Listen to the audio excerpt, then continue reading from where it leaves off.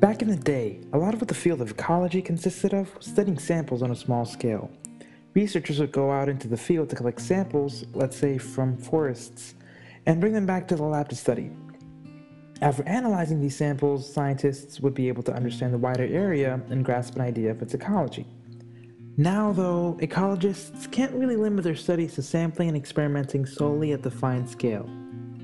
That's why Patricia Soranno, Michigan State University professor of fisheries and wildlife, and many other ecologists from around the country are pioneering an entirely new field called macrosystems ecology, with help and funding from the National Science Foundation's Macrosystems Biology program. Now, why do we need a new field? Because to tackle big environmental problems like climate change, land use, and invasive species, ecologists need to study many ecosystems and analyze plenty of data from multiple sources. And there's a near endless supply of data.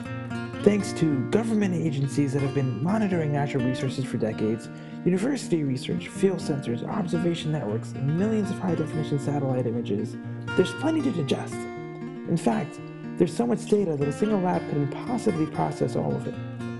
They would need to revitalize the culture in which they work to be even more collaborative, open, and interdisciplinary than they already are.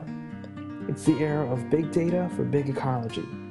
Soranno says more ecologists will need to be trained in computational methods, which will allow them to study big data from complex systems at a large scale without ever having to leave their labs.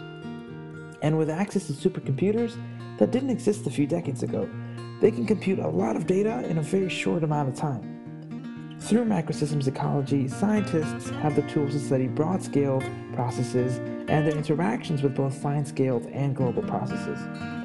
Macrosystems ecologists are up for the challenge. These pioneers are already conducting critical research and helping solve today's top environmental problems.